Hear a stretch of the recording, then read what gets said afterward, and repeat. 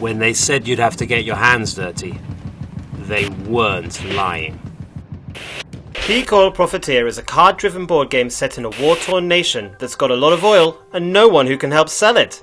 That's where you come in, fresh off the plane and ready to make your oil corporation the most cash, whatever the cost. The game is quick to grasp and features simultaneous action selection, asymmetric power upgrades, player interaction.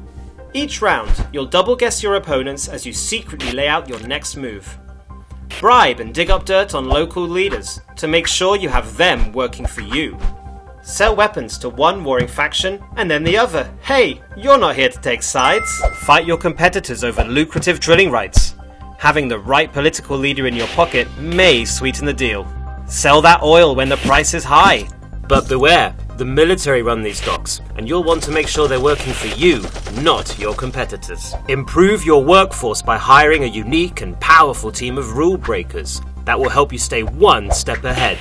Act fast. Corruption's about to bring this country to its knees, and we want our pockets filled by the time that happens. Whatever the cost.